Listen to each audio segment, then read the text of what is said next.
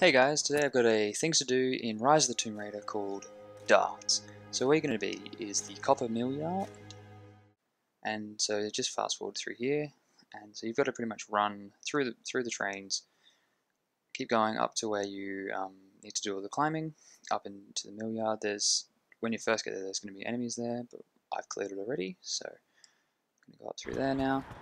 Alright, so when you get to this point, where you've got this is where you're going to need a rope arrow, which you should already have at this point. You're going to rope arrow this and pull it down. Once you've pulled that down, you can slide down here. And when you've slid, slid down here, you jump on there and you enter a room. enter a room, normally a locked box, which you get a um, weapon butt from and a cabinet there. If you turn around, there is a dart board. Click the dart board, you can play darts with your arrows. So that, shut up, I just missed the uh, bullseye, so I'm gonna go back and try it again. Go back.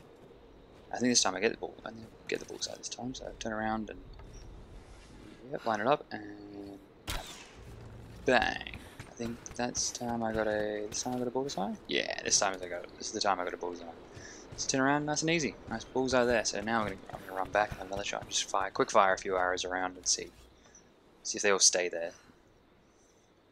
There we go, just going to fire a few arrows at the board, just willy-nilly, doing the double shot as you can do. One of your skills. You run up and look at my arrows. I think I actually got a bullseye still there. I slightly off the bullseye. But yeah. So guys, this has been Things to Do in Rise of the Tomb Raider. Thanks.